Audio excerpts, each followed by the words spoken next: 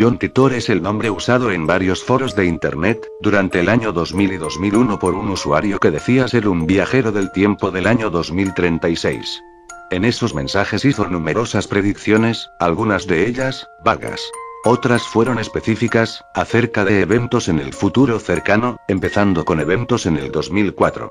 Describió un futuro cambiado drásticamente en donde Estados Unidos se ha dividido en cinco regiones más pequeñas, el medio ambiente y las infraestructuras han sido devastadas por un ataque nuclear, y la mayoría de las demás potencias mundiales han sido destruidas. Esta historia ha sido contada en numerosos sitios webs, en un libro y en una obra de teatro.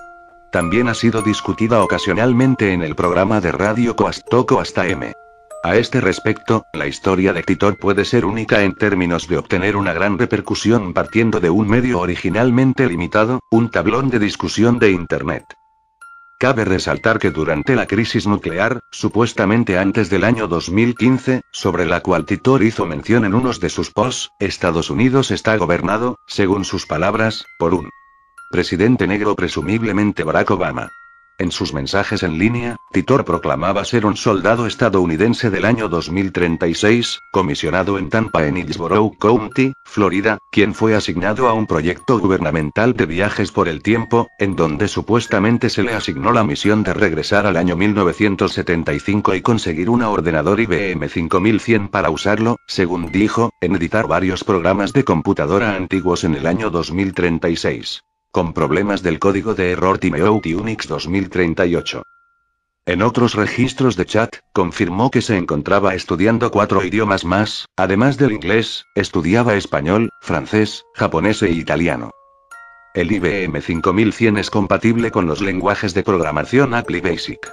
Titor fue seleccionado especialmente para esta misión, debido a que su abuelo paterno fue parte del equipo que ensambló y desarrolló el IBM 5100. Titor también dijo que haría una parada en el año 2000 por razones personales. Recoger unas fotografías perdidas en la futura guerra civil y para visitar a su familia, de quienes hablaba a menudo. Titor también dijo que estuvo, por unos meses, alertando a quien quisiera escuchar acerca de los peligros de la enfermedad de Creutzfeldt-Jakob, contagiada a través de productos bovinos y de la posibilidad de una guerra civil dentro de Estados Unidos. Cuando un usuario suscripto le preguntó acerca de eso, Titor también expresó su interés en los misterios no explicados como los ovnis, que en su tiempo seguían sin explicación. Titor sugirió que los ovnis y los visitantes extraterrestres podían ser viajeros en el tiempo de un futuro distante, que poseían máquinas superiores a la que él tenía. John Titor se despidió en el año 2001, desde ese entonces, se han aparecido dos supuestos viajeros del tiempo, en los que no hablaré en este vídeo.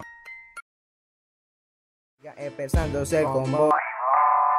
Flow y lírica que voy, voy. Expresándose con voy, voy.